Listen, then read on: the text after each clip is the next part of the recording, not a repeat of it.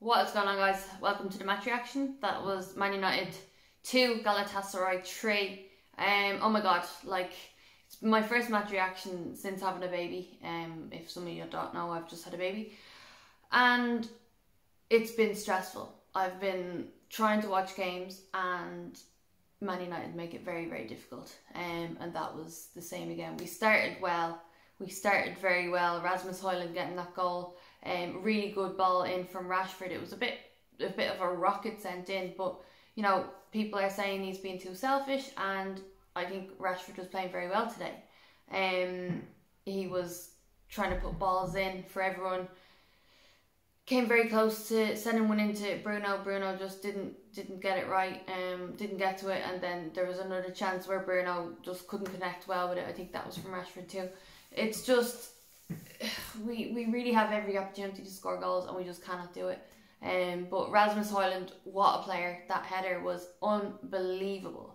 Um, an absolute bullet. He just he looks like such a good player. I'm very excited to have him, but um, it seems like when we do three good things, five bad things follow, and it's just two steps forward, one step back all the time, every fucking game day it's excruciating to watch. Um, so obviously we score, then they score, then we score, then they score. Uh, I just don't understand why our defense is so fucking weak. It's like hot a hot knife through butter. Like I'm watching and I'm like, they don't even look like they're bothered to try. They don't even look like they care like we do all the hard work going forward. We we try to create, we try to do stuff, and then as soon as the ball comes back down, it's like we don't know what to do with it, and it's absolutely embarrassing. Like our defense is embarrassing. We're such a we're such a poor team. Um. So yeah, of course, Wilfried Zaha was the one to score. He, he, that was written in the stars. We knew that was going to happen before the game even bleeding started. Um, and then yeah, we, we get one back. Rasmus Højlund scores again, but it was it was uh, disallowed. Then he scored, which was a really good goal, by the way. Um, then he scored again. Happy happy days. The the celebrations were amazing. And then like within two minutes, we concede. Within two minutes. Um, then it all goes downhill from here. This is when Marcus Rashford comes off. But like a lot of people are saying, bench Rashford, bench him. He's not doing enough. And then today, I think he was doing very well. And then he gets benched, and then it all goes to shit. Like I saw Rashford today be, not being selfish. He has been selfish. We all we all can see it. But today he wasn't. He was so selfless and just trying to give the ball in in every position, and he was doing very well. And then he comes off, and it goes to shit. Uh, Onana, I'm sorry. I like.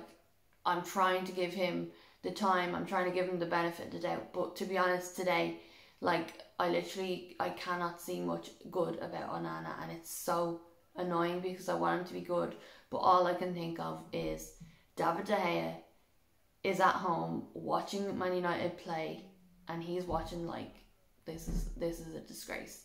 Like David De Gea he might not have been good at some things and look I'm I was very much given out about De Gea a lot. But you have to admit we miss him. Onana's not been good. He's not shown. He's not shown much. He's made so many mistakes. He made mistakes in the Bayern game, and now he made mistakes today. He made a mistake that led to Casemiro having to get a red card. He had to make that tackle. He gets sent off. He gets a second yellow. Um, Icardi misses the penalty. So we get a lifeline.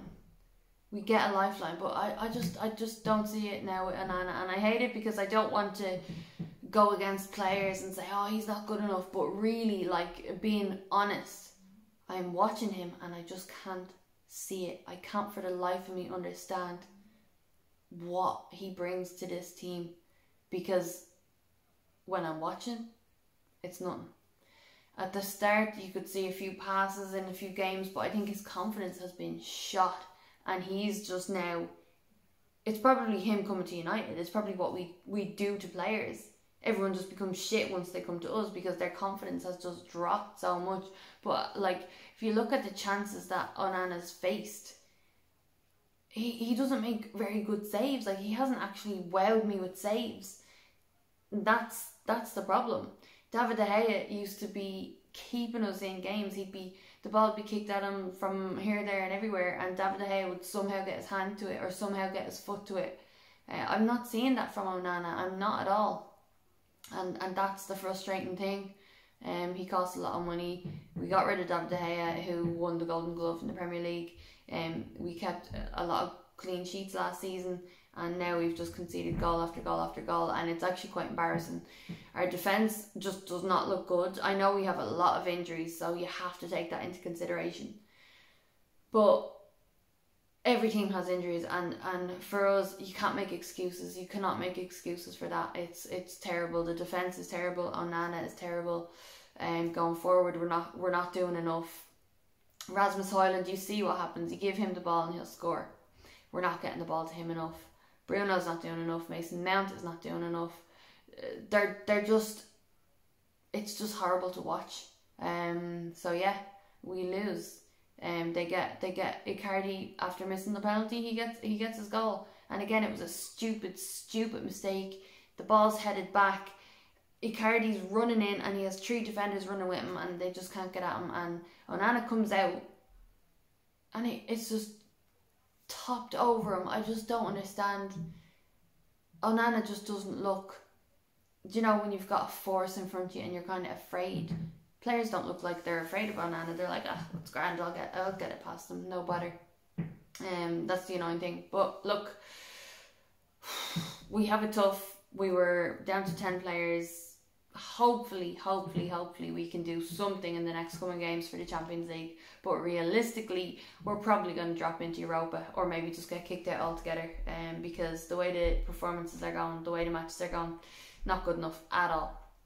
Um, but look, guys, let me know your thoughts. Sorry I have been slacking with videos. Obviously, I just had a baby, so it's been tough. Um, but I'll try to do a lot more videos soon. Let me know how you are. Let me know what you thought of the game and if you're new, hit subscribe, drop a like, and I will talk to you in the next video.